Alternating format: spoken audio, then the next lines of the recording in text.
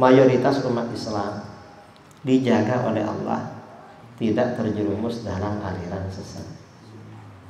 Mayoritas umat Islam dijaga oleh Allah selalu istiqomah menjadi pengikut ajaran Ahlus Sunnah. Yang ikut Wahabi itu sedikit saudara. Saudara walaupun nonton di YouTube Wahabi ramai sekali.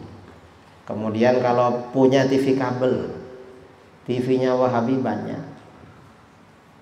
Cari di Google tulisan Wahabi banyak. Ya mereka ini seperti burung ngoceh gitu aja. Tapi jamaahnya gak ada. Mereka ngakunya ahlu sunnah wal jamaah, ditanya jamaahnya mana gak ada. Kalau mau ngumpul banyak dari mana-mana harus datang semua.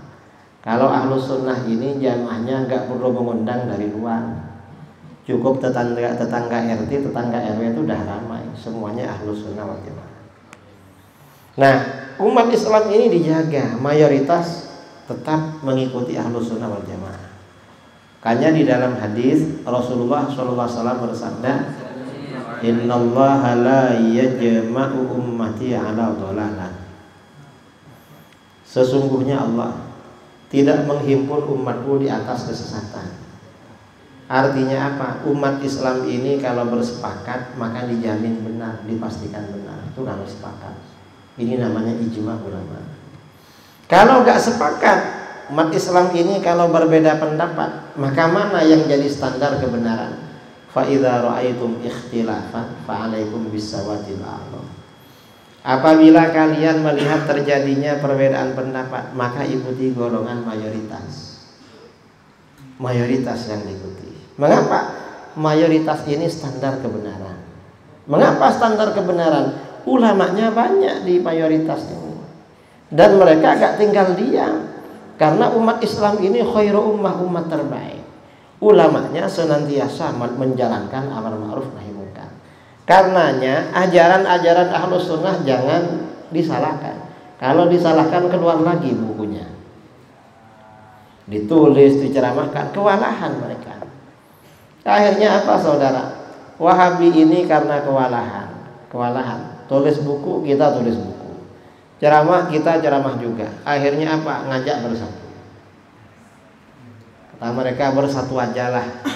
Kita agak usah nyinggung-nyinggung. Jangan bicara Wahabi, jangan bicara Syiah. Ya itu urusan kami. Kita bicara apa enggak terserah kami. Yang jelas selama masih ada yang namanya aliran Wahabi, kita bicara Wahabi terus. Selama ada Syiah, kita bicara Syiah terus. Selama ada Hizbut Tahrir kita bicara terus. Selama ada aliran sesat kita bicara terus. Mengapa? Agar umat Islam tidak terpengaruh dengan aliran-aliran di luar ahlu sunnah wal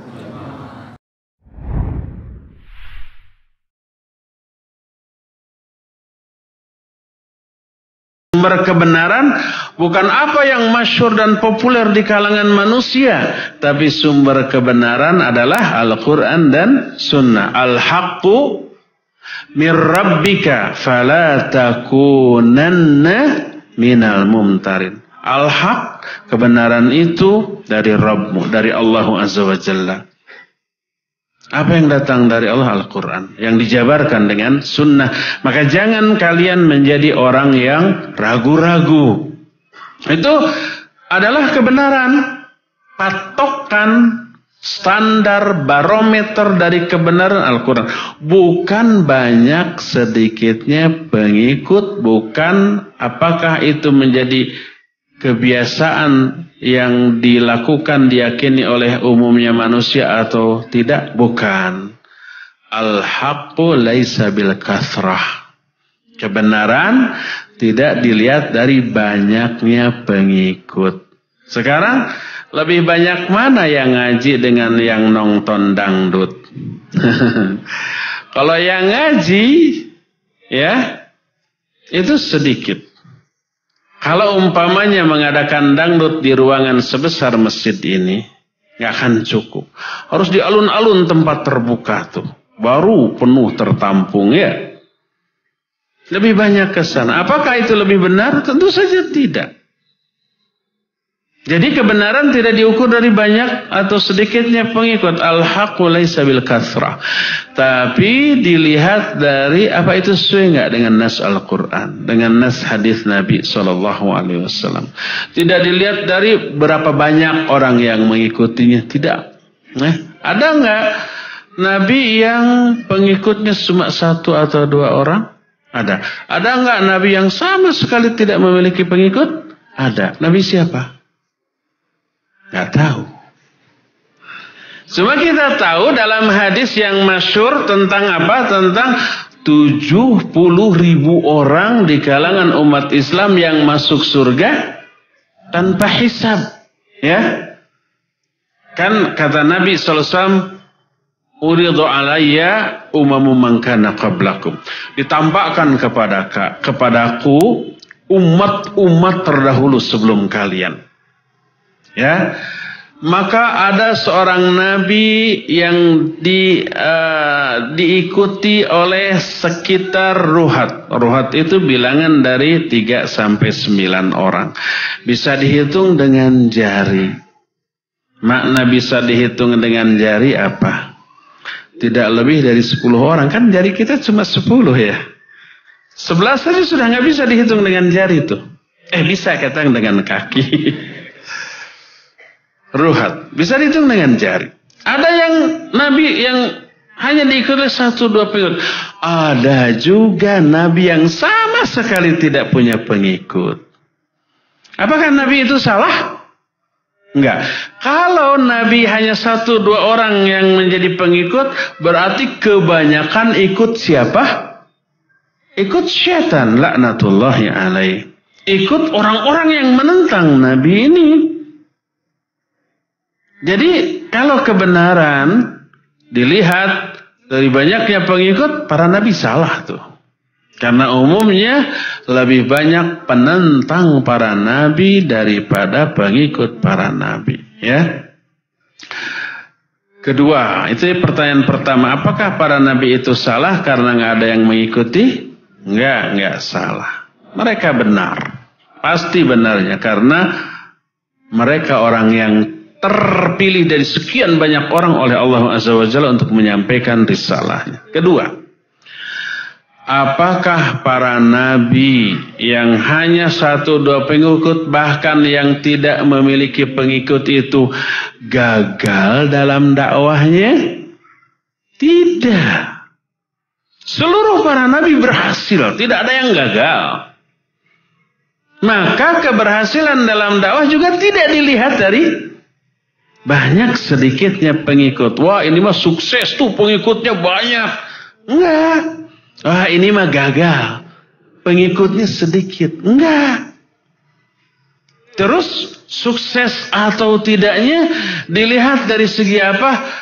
Pertama dari segi konten dakwah benar atau tidak. Sesuai dengan Quran Sunnah atau tidak kalau di zaman sekarang. Kedua metodologinya benar apa tidak. Ya, ada kalanya isinya benar, cara menyampaikannya salah, ya keliru juga. Ada kalanya menyampaikannya benar, isinya salah, keliru juga. Jadi dilihat sukses tidaknya dari, dari apakah benar nggak dalam dakwahnya. Tidak dilihat dari banyak sedikitnya pengikut, ya.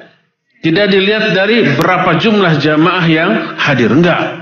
Oh itu mah pasti benar. Sebab pengikutnya yang hadir selalu banyak. Tidak. Adakah orang yang berdakwah dengan pengikut yang sedikit? Ya, para nabi. Tadi dikatakan hanya ada satu dua orang, ada yang tidak sama sekali punya pengikut.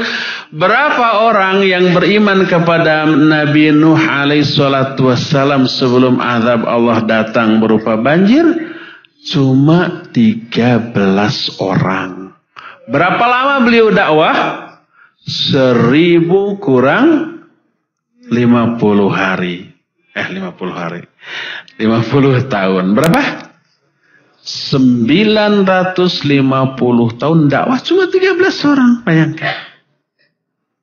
Apakah beliau gagal dalam dakwahnya? Enggak, enggak gagal. Tetap seluruh nabi berhasil.